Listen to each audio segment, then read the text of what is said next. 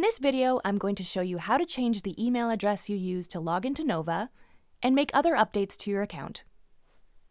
We'll start by logging into Nova using your personal email address. Make sure you're in your personal account by looking for your name across the top banner.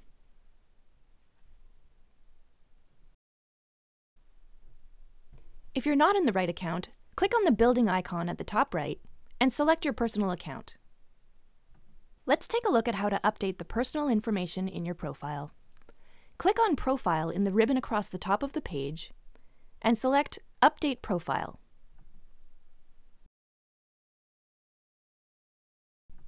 Make any changes you need to in the appropriate fields. Under Contact Information, there's a field where you can change your email address.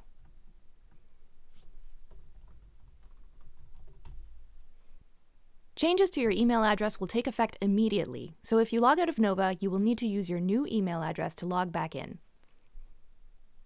Click Save at the bottom of the page to update your profile. If you still need to activate your account, you will see an Activate button beside the Save button. Click the Activate button if it's available. After the profile has been saved, please review to make sure that your browser hasn't autofilled any incorrect information. If you want to make changes to your organization or collective profile, click on the building icon to switch profiles. Click Profile at the top of the page and select Update Organization Profile. Make any changes you need to. Here we will update the mailing address.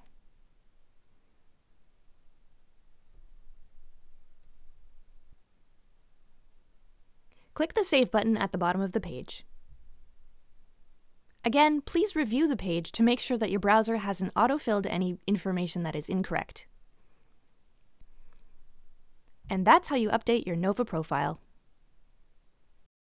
You can learn more about managing organization and collective profiles in our videos on Getting Started for Organizations and Getting Started for Collectives.